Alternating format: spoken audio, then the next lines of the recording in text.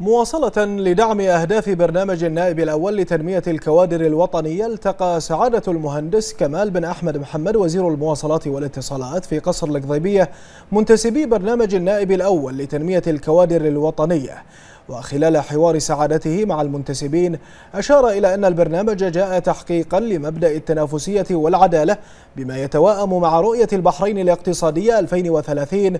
التي تضع المواطن البحريني في قلب عملية التنمية. وقال سعادته إن تأهيل جيل قادر على التطوير والابتكار يؤكد حرص مملكة البحرين على مواصلة الاستثمار في العنصر البشري كثروة البحرين الحقيقية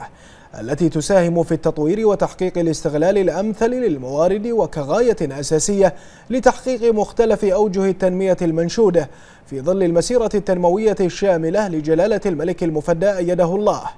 معربا سعادته عن ثقته التامة في استمرارية نجاح هذا البرنامج في صقل وتطوير الكفاءات البحرينية ما يعكس رؤية صاحب السمو الملكي ولي العهد نائب القائد الأعلى النائب الأول لرئيس مجلس الوزراء لخلق كوادر وطنية قيادية مؤهلة للمشاركة في تطوير وتنمية نهضة المملكة.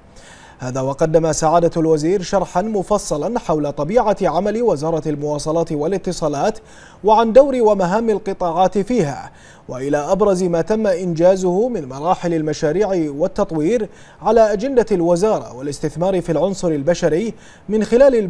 البرامج الممولة كتحليق وأجواء والذي تقوم بتنفيذه شركة مطار البحرين بالتعاون مع صندوق العمل تمكين. كما تطرق سعادته لبرنامج أجواء المدرج تحت شؤون الطيران المدني مشيرا إلى أنه في السنوات الماضية شهدت الوزارة توظيف أعداد كبيرة من الكوادر البحرينية الطموحة للعمل في إداراتها.